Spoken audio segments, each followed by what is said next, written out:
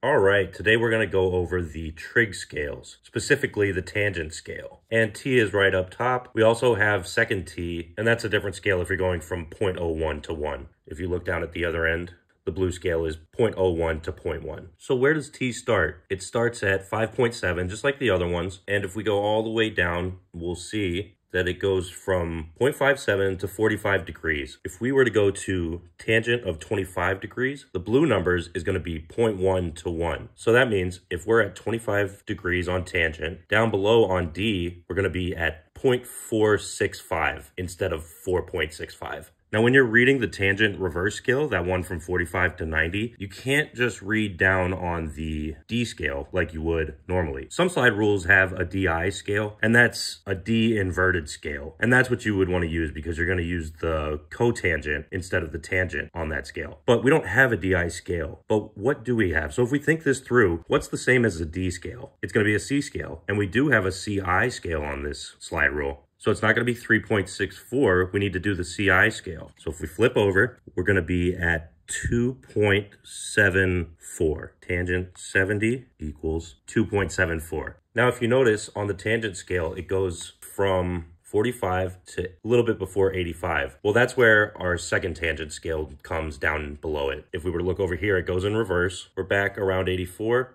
and it just picks up those red numbers at 85, 86, and if we go all the way down to the end, it's gonna basically get us to 90, a little bit underneath. But that's the tangent scale. That's just a basic overview of how it's laid out.